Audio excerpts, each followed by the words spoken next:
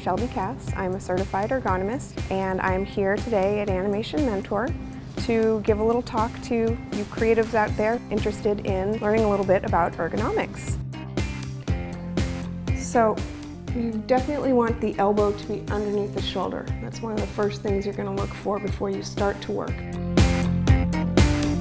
If your work makes you move away from that position, you're going to be in a non-neutral position and you're probably going to start slouching a little bit. But I would probably want her to sit a little bit closer to her keyboard, so I'm just going to reach right now.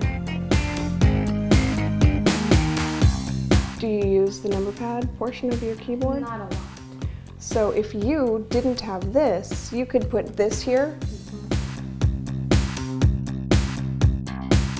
but then come in and key and not have to reach forward to access your keyboard. Get this as close as you can to actually force yourself back into your chair so that even if it's a habit that you go forward, your eyes are gonna say, I don't think so, and they're gonna bring you back into your chair.